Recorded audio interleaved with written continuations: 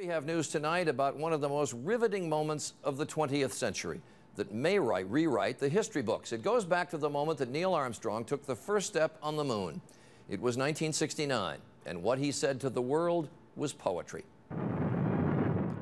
We've all heard these words. It's one small step for man,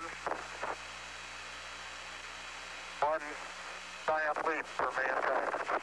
It has long been believed that Neil Armstrong meant to say one small step for a man, but left out the A. Without it, the two halves of the statement are basically redundant. Well, now an Australian computer programmer has analyzed the recording with new software, and he says even if you can't hear it, you can see a picture of a sound wave where the word A was spoken. It's more an ah sound. He says, for our man. Now, if you play it on this, it's barely audible because it's only 35 milliseconds. Listen one more time. That's one small step for man, Well, maybe, but we'll make a leap of faith for the first man on the moon.